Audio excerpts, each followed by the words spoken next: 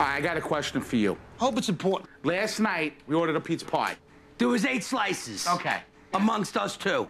So just so you get the visual, I'm sitting here. Give your Tommy honest is opinion. Sitting here. You're right in front of your four slices. Right. Okay. Okay. So I ate this corner. He ate that one side. first. He ate this corner. I ate that this one. one. Right. He ate that one. Yes. Right. I ate this one. Yes. Right. He skipped that one. I don't, maybe I didn't want them. Maybe I wanted He the corner. He skipped that yeah, one. I went to the corner. Stood up and took mine. I, oh, I didn't stand up nothing because if he you don't reached reach- across I grabbed the and he corner. took Well, my hold on, hold on. slice. Was this corner bigger? No, it was smaller. As a matter of fact, that's why I took it. You should have ate the pizza on your table. I could take any pizza I want. No, you it's can't. Mine. That was yours in front of you. You're wrong. You chose You that took side. my half. No, I didn't. Yes, you did. I When ate started- my side. I ate four- my No, side. you didn't. This four. You, me, I had you, this side. me. You took. So now I want. Stay on your side. Kid, you're pissed.